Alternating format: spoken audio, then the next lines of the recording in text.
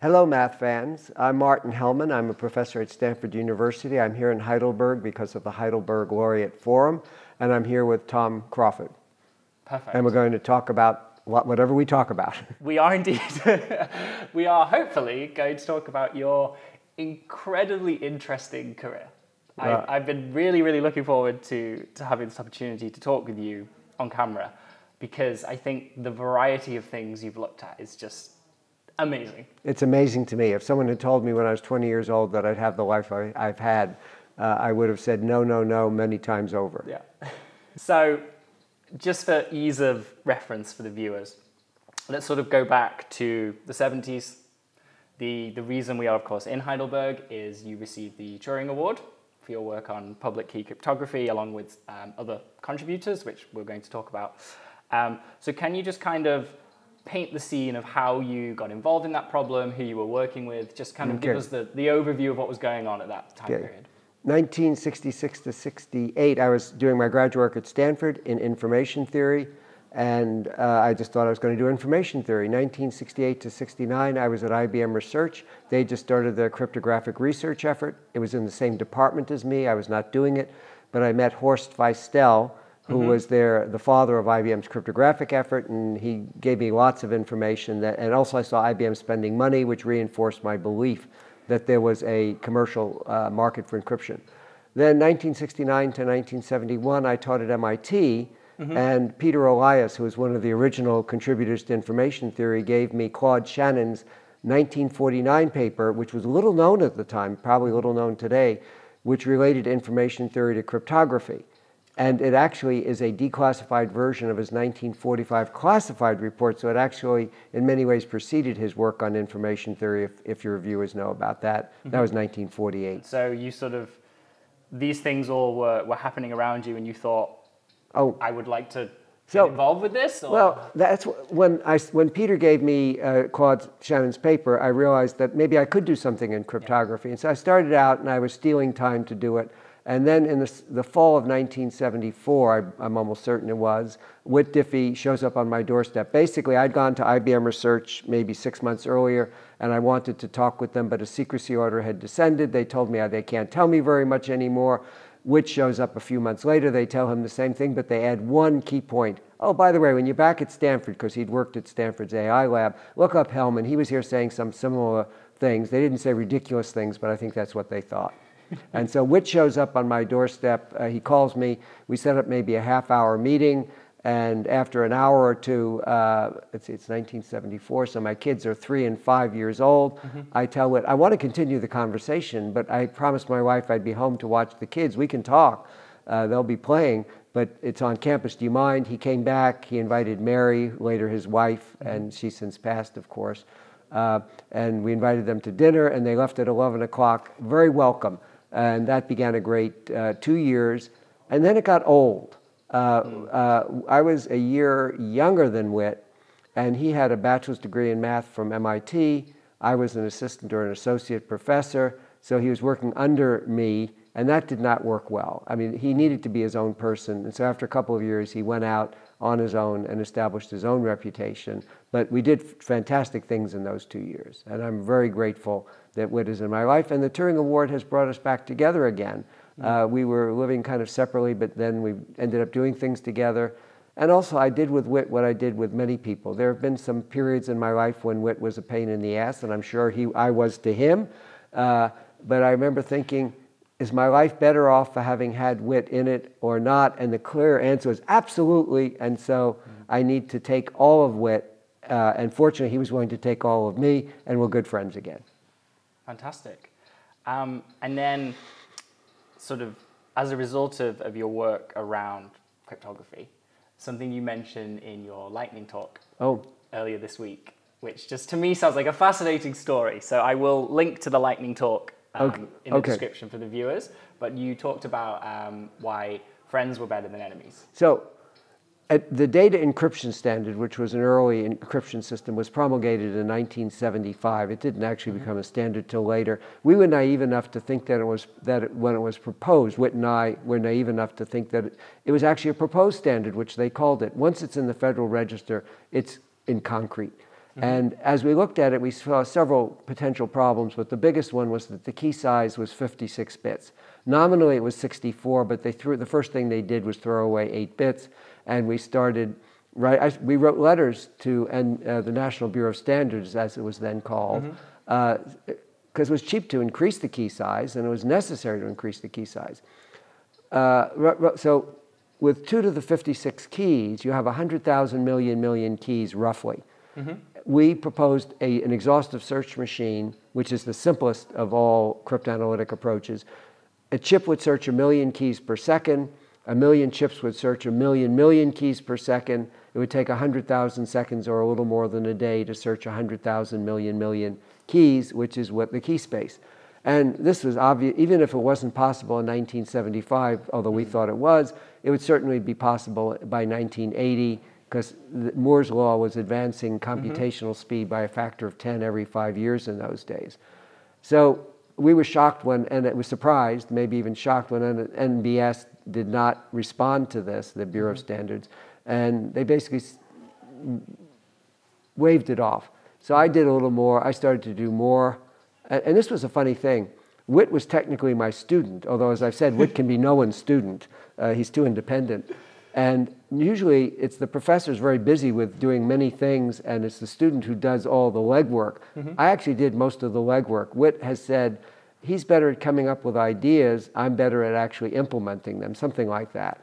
And so I went to our integrated circuits lab, I started refining the estimate, and became clear this was a problem. And thus developed a war with NSA, the American National Security Agency, the American equivalent of GCHQ.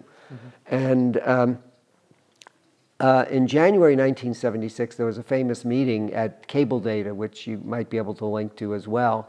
Uh, and two people from NSA flew out and told us, You're wrong, but please be quiet. If you continue talking this way, you're going to cause grave harm to national security. What they really meant is, You're right, but please be quiet, Yeah. uh, and so on. And so um, we decided to go public with the uh, controversy, and a war ensued. This was the first crypto war, as I call it. And NSA and I were enemies. And in March, in, I forget exactly when in 78, or probably early in 78, I get a call from the director's office at NSA. And by the way, the joke is that NSA stands for, doesn't stand for National Security Agency, it stands for no such agency and never say anything. So uh, the woman at the other end said, uh, the director, Admiral Bobby Inman, was going to be in California. Would I be willing to meet with him? And I'd never, we'd never really had a, even though the war was with NSA, it was always with proxies. So I jumped at the opportunity. Inman came to my office at Stanford, and uh, it was a very cautious meeting at first. But he, the first, one of the first things he did is he looked up at my head and he said, "It's nice to see you don't have horns," because I was being depicted as the devil Yeah. at MIT. I looked back at him and I said, "Same here." I actually had been thinking more in terms of Star Wars. I was 30 year, roughly 30 years old at the time, early 30s. So I, I vision, envisioned myself as Luke Skywalker to NSA's Darth Vader. And the second thing Inman said is, I'm here, I need to tell you, I'm here against the advice of all the other senior people at the agency, but I don't see the harm in talking. And he's an out of the box thinker. Mm-hmm. And so he, that out of that cautious meeting, an enemy was turned into a friend. And by the way, notice that it was Admiral Inman who initiated it. So you can really believe me, I'm not the good guy here. It's Admiral Inman. And he is a good friend. He's in his, now, he's in his 90s, uh, but he signed several statements of support, several letters, one that we're working on now that I won't go into. Uh, and he would, as I said in the lightning talk, he wouldn't have signed the letters if he didn't agree with them, but he also wouldn't have signed them if he did. If I was an enemy, he wouldn't. If I was the devil incarnate, I'm going to just twist it. So friends are better than enemies. Yeah. Um, if I can just ask uh, one main question that jumps out at me from that really interesting, fascinating story. Were you not ah, worried, afraid, scared even that the NSA were like going to war with you? My mother called me. My mother was still alive, and said, "What are you doing? You're going to get yourself killed." Because I was, oh, by the way, I was pissing off not just NSA. I was pissing off a number of their foreign equivalents. Uh, and some of my uh, Silicon Valley is also known as Spook Valley, as you probably know, because much of the early money for Silicon Valley came from NSA and the CIA. Uh, And some of my friends worked in intelligence matters. Some of them warned me that I should not be doing what I'm doing, that my, I was risking my life. Others told me this was crazy. I don't know who's right. Yeah. But my wife was really happy when this made big news because she said, now if something happens to you, there will be an investigation. The good news is nothing happened to me. I'm here. Uh, I wasn't arrested. I wasn't killed. So it worked out well. But Yeah, yeah, I, I I'm mean- a- I- by the way, I grew up in the Bronx. And uh, what I realized later is I was never a very good street fighter. But I, so I fought with my mouth and my mind, which actually made the other kids in the neighborhood want to beat me up probably. but NSA picked the wrong person. Uh, I mean, initially, we- I was, as I said, I was naive enough to think this was a bug rather than a feature from their point of Yeah. view. But once it was clear that we had a war, I wasn't going to back away from it. Yeah. And it wasn't, it wasn't courage. It was, one could say it was arrogance. And that's a whole nother story. Arrogance is part of my dark side. I, and there's a whole story in the book about a, Jew, an, a man who impressed me as an arrogant Jewish professor from New York. I'm Jewish, I'm a professor, I'm from New York, and arrogance was too much to add to the mix. And uh, the good news is I have come to embrace my dark side. And I now see arrogance and courage as being on a spectrum. And so you can't be courageous without occasionally appearing arrogant. And so if my wife now were to tell me that I was appearing arrogant instead of getting mad at her, I would dial it I would dial back a little bit because I might not see it as arrogant, but if she saw it that way, some other people would. Good to dial back a little bit. First quick fire question. Can you remember the first piece of code you ever wrote? I can remember the first piece of code I didn't write. I went to Bronx High School of Science, 1959 to 1962. We had an IBM 1620 computer before most colleges did. IBM must have donated it.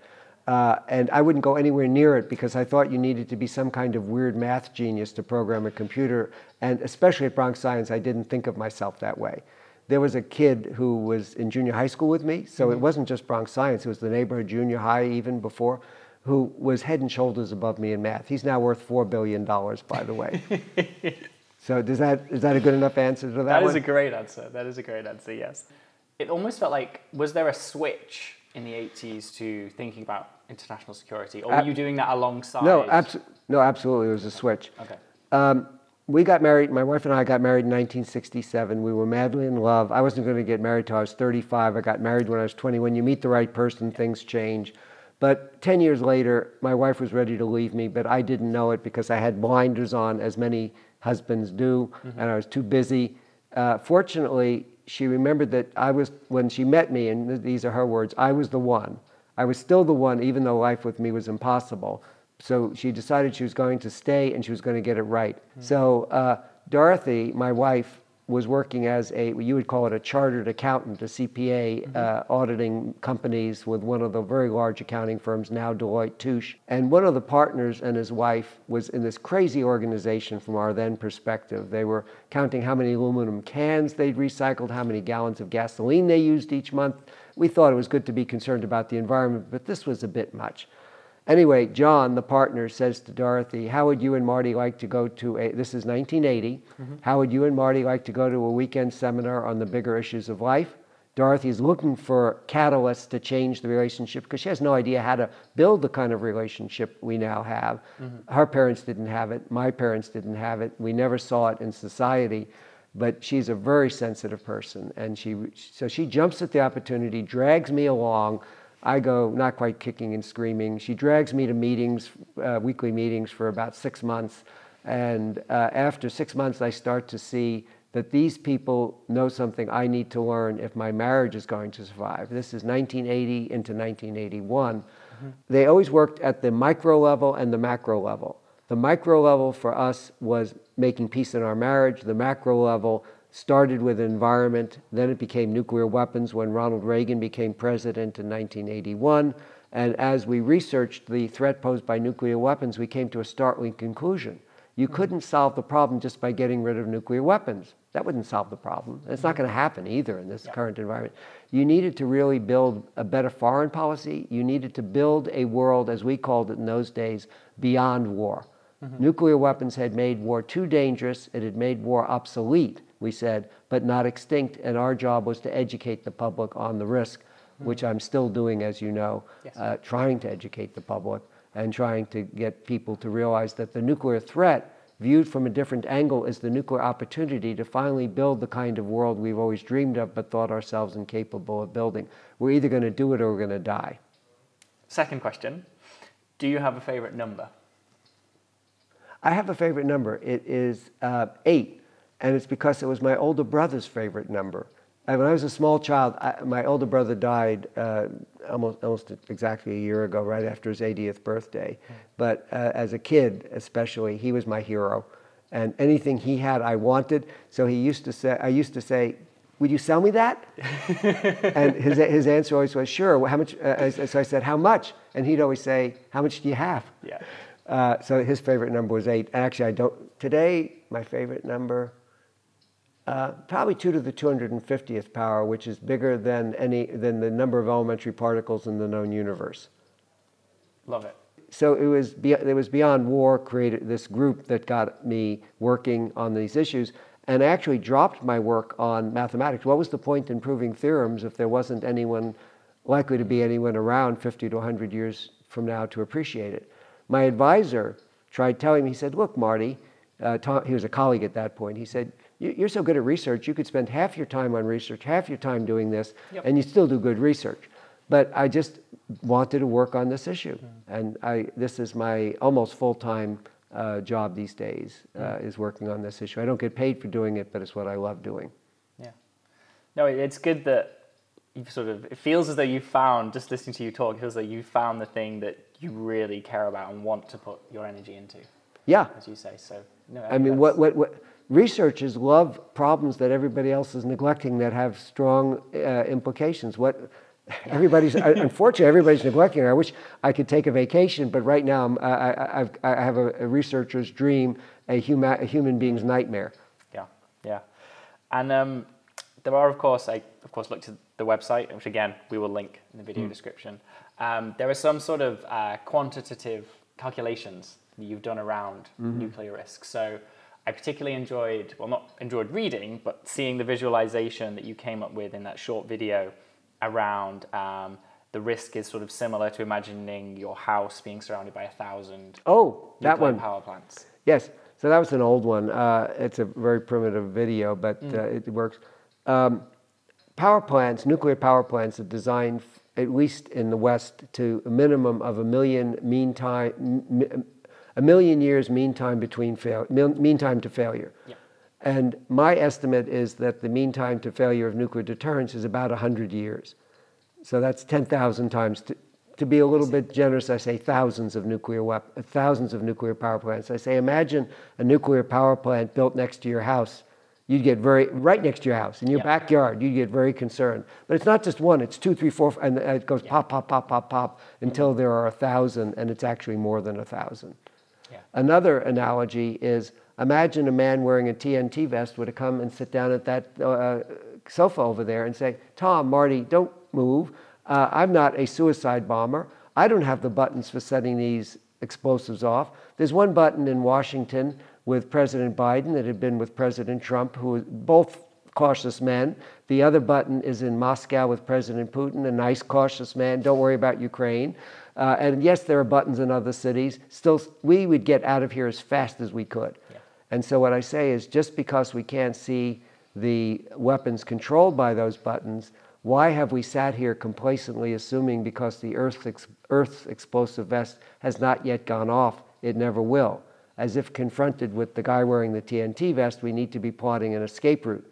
And when I used that analogy once in a House office building uh, at the U.S. House of Representatives, talking to some people, I said, plotting an escape route does not mean jumping out the window. We're on the fourth floor and killing ourselves. It means plotting an escape route. We need to start thinking this thing through. We need to stop killing people without thinking about it as we did in Iraq and Vietnam, and as Britain did many places, Yep. uh, and as Russia is doing today. Uh, and the U.S. is helping the Ukrainians kill a lot of Russians. Uh, we need to we need a new a new mode of thinking, as Einstein said. Couldn't agree more. Um, and brings on to the, the final sort of story, I guess, uh, or milestone that, that I found particularly interesting looking at your sort of career and, and achievements um, is your recent, does it count, seven years ago, book that you co authored. It was seven years ago, exactly. Dorothy, that you mentioned. So it's if I've understood correctly, it's around how you can use um, peace at home as like a Well, the subtitle describes it creating true love at home and peace on the planet. And it Yes. comes, you can see it growing out of what we learned in this group, which we left uh, before it ended and it no longer exists. So we're not recruiting for the group. Uh, but it worked on the micro and the macro. And we see it, that makes a lot of, it made a lot of sense to me then and still makes sense to me now. Uh, and we summarize it with a soundbite, which is get curious, not furious. So, as I said, when Dorothy used to do things that seemed crazy to me, I used to treat her like she was crazy, drove her crazy, convinced me I was right. Now I go to her and I, I say, as I said, I ask her questions. I get curious instead of furious. She does the same with me. And it's what we need internationally. Getting rid of the weapons will probably happen eventually, but let's not worry about that. The first step is to start asking, why did Putin invade Ukraine? It was wrong. Don't get me wrong. I mean, it was wrong. It was bad. It was a horrible humanitarian disaster with a lot of nuclear risk. But the West is not uh, blameless there either. And as evidence, um, there is a poll that was done in Ukraine by the University of Chicago that I've confirmed by talking to one of the lead researchers there. So I know, and it's on the it's on the Wall Street Journal website, but never reported on by them. They sponsored it, and it found 85% of Ukrainians after the war started in Ukraine. 85% of Ukrainians, not surprisingly, blame Russia for the war, and I I agree. Yep. 70% also hold their own government responsible, and 58% hold the US responsible. And it, what we need to do is, instead of just saying that's ridiculous, we need to say, why is that? They didn't ask the people why they said that, but I can see lots of reasons. It's usually said that Putin's invasion of Ukraine was unprovoked. That's not true. It was provoked, mm-hmm. but it was unjustified. And there's a big difference between the two. Okay, and final question: spaces or tabs? Spaces or tabs? I use both. I, I, I actually don't see. Sometimes tabs work better, and sometimes spaces. You need to use what works. Okay, okay. So, I that last one in particular, I've it's very. You're the first person who has not laughed and said obviously spaces. Oh. so it's very interesting. So I've asked this to several people in maths and computer science, and the overriding opinion seems to be in favor of spaces. Well, actually, I, come to think of it, I sometimes will add spaces because when I'm trying to get things to line up, uh, uh, sometimes I need to add some spaces. So But maybe, no, I, no I, I- to be fair, I think I agree with you. You use the thing that feels most appropriate. yeah, Why limit yourself to one or the other? okay. All right, awesome. Well, thank you so much. And thank you for doing this. Uh, uh, I knew it took time out, but it was well worth it. Yeah, no, it, it's. You- as I said, I was looking forward to it. It didn't disappoint. It was so much fun. Um, so again, thank you. I hope you enjoyed it. I did. Thank you, everyone, uh, for watching. I will link everything we've mentioned in the video description. So do check out Martin's book and various other talks and videos. It's all there for you to find on YouTube and free PDFs and whatnot. And if you have enjoyed this video, please do remember to subscribe to the channel, like, share, the usual thing. Um, but again, Spend money. also that. I wouldn't complain at that. but thank you, and I'll see you soon.